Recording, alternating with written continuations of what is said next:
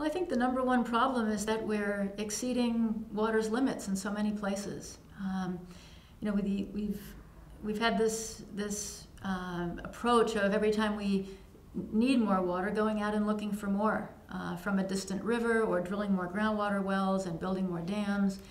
And so that's created a situation where we've just been overtapping rivers and overtapping groundwater.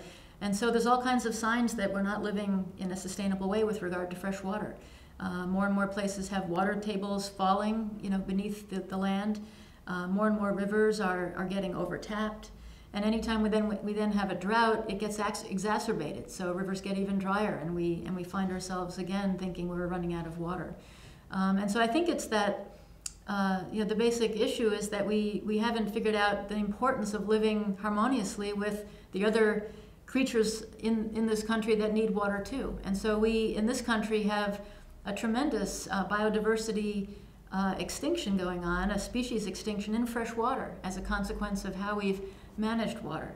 Um, you know, we have uh, the number one country in the world. We are the number one country in the world in terms of known species of, for example, freshwater mussels.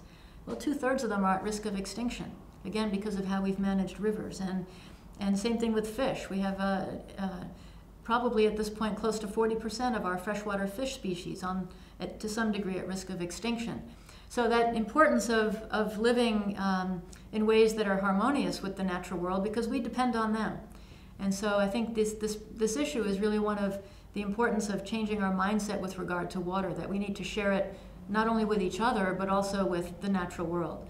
And that shift really is about uh, managing our demand rather than increasing supply and realizing there's so much we can do uh, living in, in, in order to live better with less water uh, so much we can do to conserve it, to use it more efficiently, to use it more wisely, so that we don't have to have this, these damaging effects on the environment and we can still live well too. So it's that mindset shift, realizing water's finite, it's the basis of life. We need to share it with each other and with nature, and we have the mechanisms to do that. We have the tools, the technologies to do that um, if we choose to.